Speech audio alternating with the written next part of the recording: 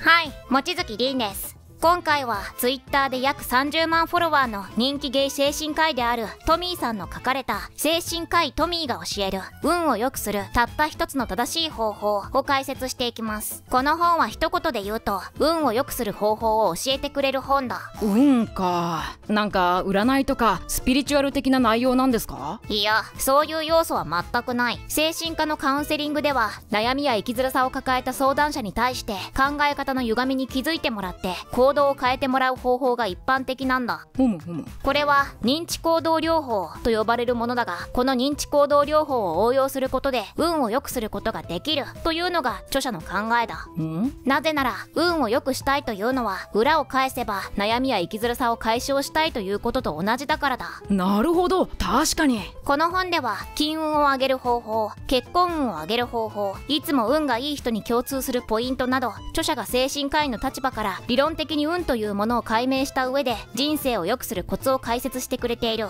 今回の授業を受ければそんなトミー流運を良くする方法を学び人生を好転させることができるだろう。それでは早速授業を開始する。心して活目せよ。よろしくお願いします。一つ目は運を良くするのは正しい考えと行動だな。いきなりだが運とは何だと思う？運とは何か？うーんいいことが起こる確率でしょうか。うん。そうだとすれば本人にとって望ましい結果が訪れる人が運がいいと言えそうだな。だが一般的に考えて物事の確率というのは等しく起こるはずで特定の人にだけいいことが続くなんてことは本来ないはずなんだ。ふむふむ。じゃあなぜ一部の人にいいことが続くように見えるのかというとその人が正しい考え方をして正しい行動をしているからなんだ。正しい行動？どういうことです？例えば魚を釣りたいとしよう。正しい釣り方で長時間待っていればいずれは魚は釣れるだろう。だが正しい釣り方を知らないまま間違えた方法で釣りをしていたらどうだ？釣り竿には糸はついているが針と餌をつけないまま糸を垂らしていたら？そんな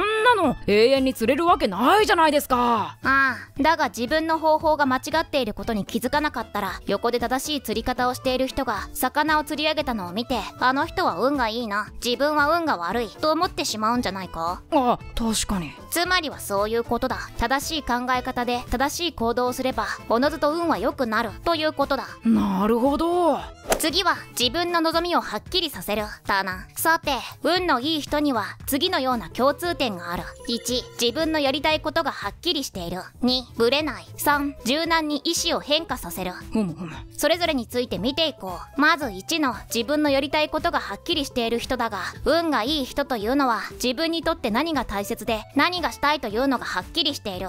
逆に自分のやりたいことや望みがわからない人はそもそも望みを叶えるための行動をすることすらできないから運なんて良くなるはずがないんだ。言われてみればそうですね。2のブレないというのも同じだ。自分の望むものがブレまくっていると大切なものとそうじゃないものの見分けがつかず行動もブレまくってしまうため運が良くならない。確かに目標が定まらないと行動できないですもんね。うん。そして3柔軟に意思を変化させる。についてはさっきまでの話と矛盾するように思うかもしれないがそうじゃない。自分の望みというのも生きていく中で少しずつ変化していくことがある。その時に今まで大切だと思い込んでいたことに執着してしまうといつまで経っても運が開けてこないということもある。ブレない目的があるからこそそこで柔軟に考え方を変えることができるということだ。なるほど。結局運を良くするためにはまず人生の目標や自分の望みをはっきりさせることが重要ということだな。次は規則正しい生活で運が良くなる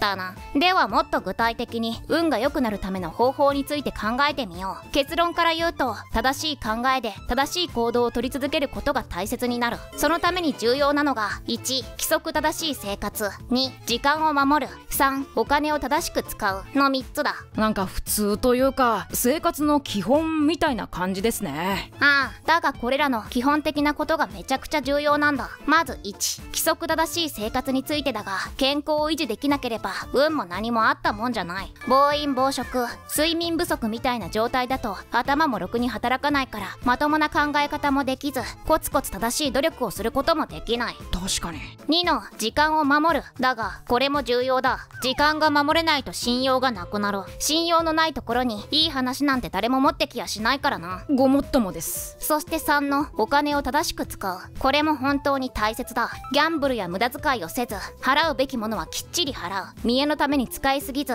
借りたものは必ず返す。お金を正しく使えていないと手元にお金が残らない。そうすると行動の選択肢が減ってしまいいざいろいろなチャンスが目の前に来た時にお金がないために諦めないといけない。一番いい選択肢が取れないということになってしまう。なるほど。確かに今お金さえあればっていうことありますもんね。ああ運を良くしたいならこの3つはしっかり意識することだ次は目の前の幸運に気づくだな。自分は運が良くないと思っている人はただ幸運に気づいていないだけ。というパターンもある。気づいていないだけ？うん。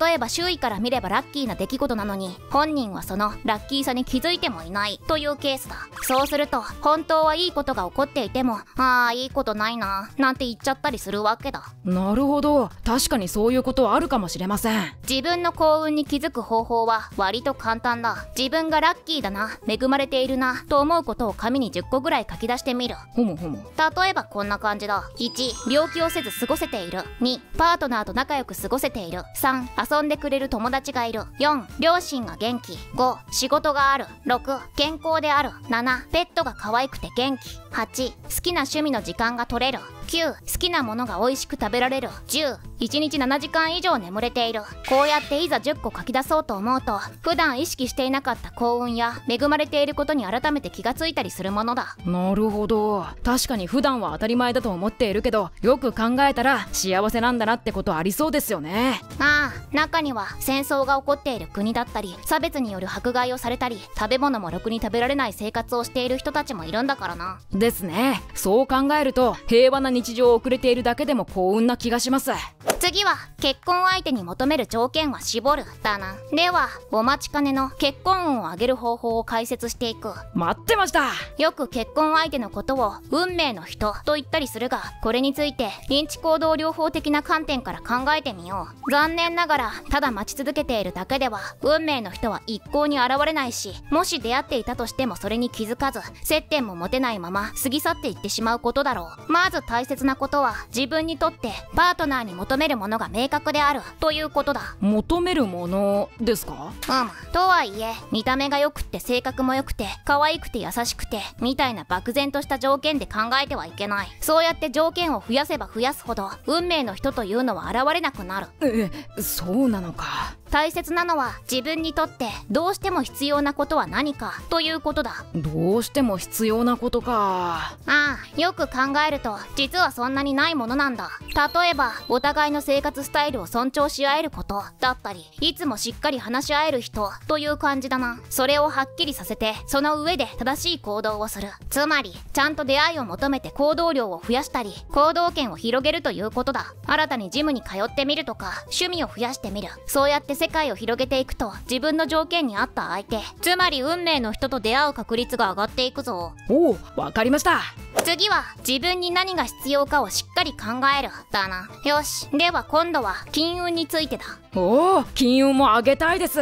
金運ほど正しい考えと正しい行動が結果を出すものはない。たまたまお金が手に入ってもその後正しい行動が取れなければ一瞬でなくなってしまうからな。ほもほも認知行動療法的な視点で見ると本当に金運がいいというのは必要な時に必要なお金が手元にあるということだ。お金があるということの本質は贅沢ができるということじゃない。え違うんですか？うん。さっきも少し触れたがお金の本質は人生の選択肢が増えるということだ。いざという時にお金がないためにやりたいことができない。そういう可能性を少しでも低くすることが大切なんだ。じゃあ必要な時に必要なお金があるためにはどうしたらいいと思う？無駄遣いしない？正解だ。無駄遣いというのは必要のない時にお金を使うこと。必要のない時にお金を使えば必要な時にお金が足りないのは当たり前のことだ。確かに。そのためには何が必要なのかを自分で分かっておく必要があるそうか。ちゃんと分かっていないと何が無駄遣いか分からないですもんね。その上であとは真面目にお金を稼ぐ。そういうごくごく当たり前のことができるとお金に困らなくなってくる。つまり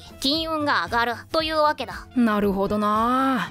次は優先順位の高いものにお金を使うだな。大事なポイントだから正しいお金の使い方についてもう少し詳しく解説していこう。無駄遣いはダメだと言っても生活必需品しか買っちゃいけないというわけじゃない。自分にとってそれがその金額を出す価値があるかをしっかりと考えてから買えばいいんだ。ふむふむ物の価値というのはその人によって違う。例えばプロの料理人が1本何万円もする包丁を買うのは無駄遣いとは言えない。それどころかそれによって料理のクオリティが上がったり仕事の効率が上がるのであれば立派な投資だ。だがお前のようなろくに料理をしない人間がそんな高級包丁を買うのは無駄遣いだ。ええまあそうですよね。高級レストランで支払うお金にしてもその体験にちゃんと価値を感じられる人にとっては無駄遣いとは言えないがなんか高級店は堅苦しいし家でカップラーメン食ってる方が気楽でいいな。味もよくわかんねえしと感じる人にとって無駄遣い以外の何者でもない。それは確かにもったいない。大半の人にとってはお金というのはあって当たり前のものじゃなく限られたものだ。何かを買えば何かが買えなくなる。そんな当然のことをちゃんと理解して自分にとって優先順位の高いものにお金を払うということが重要ということだ。なんか言われてみると超当たり前のことなんですけど全然できてなかった気がします。最後は軸考え行動を常に確認するだな。さてここまで運が良くなるための解説をしてきたが最後に運が悪い人の共通点を見ておこう。自分は運が悪いと思っている人はそこを改善していけばいいということだ。ふむふむ。